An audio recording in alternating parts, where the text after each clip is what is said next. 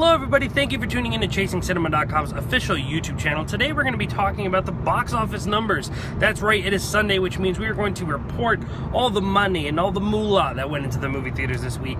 Um, today, surprisingly, at number one is Tomorrowland. And why I say surprising is because I didn't know if this movie was going to be able to surpass Pitch Perfect, which had a huge opening this weekend and surpassed $100 million on Saturday but it in fact did, opening up with 32.1 million. Now, if anyone knows Disney and anyone knows really box office, that's not super impressive, and I'm sure it's a little bit underwhelming um, for that movie. But I will say what is impressive is they made $725,000 of that just on open Thursday night screenings alone, which I believe started at 8 p.m. I know at one point it was midnight premieres, then we do 11 o'clock, 10 o'clocks, now we do all the way up to 7, 8 o'clock premieres, which is just ridiculous. You might as well just release it on a Thursday, and then before you know it, we'll be doing Wednesday midnight premieres, so whatever.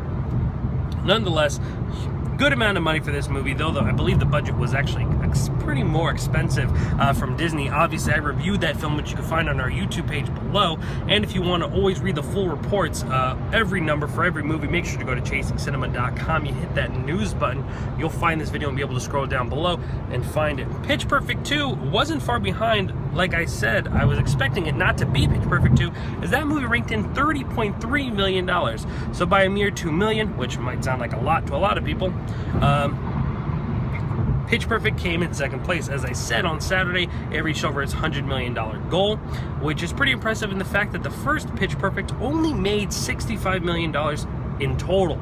So that again is quite impressive. But the one disappointing thing and the one thing that kind of has kept my focus is the fact that the movie that I absolutely loved and thought was completely unreal, and that is Mad Max Fury Road, didn't make that impressive. Uh, but the grand total for Mad Max now is at $87.8 million, which isn't the worst number to have, uh, but it is a bit underwhelming.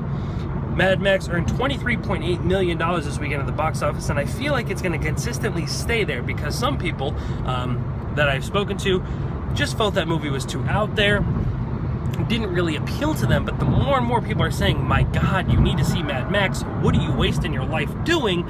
They're going to keep going to see this movie, and it's going to hopefully stay consistently at 20 million, 15 million, 17 million, as it will continue to grow and be very, very successful.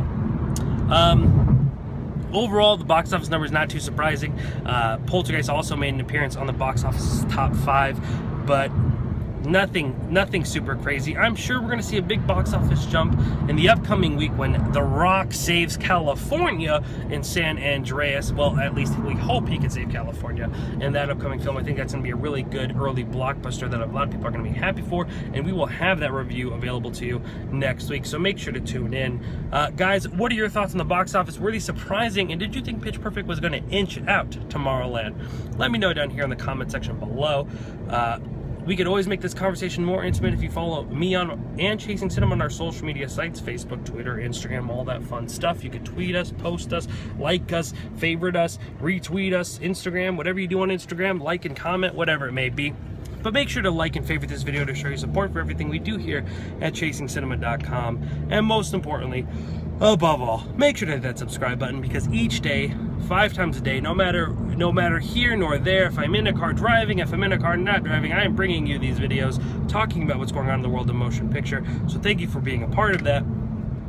But make sure you check out all the movie reviews, the trailer reviews, the image reviews. Today we talked about the upcoming Ridley Scott film The Martian. We talked about um, the movie of the week. We did a podcast and so much more, all available for you at chasingcinema.com under the news button, which you can find all the reports and these videos, and of course, the YouTube channel. So hit subscribe. Thank you guys so much for tuning in. My name is Jacob Tiranno, and please continue chasing cinema.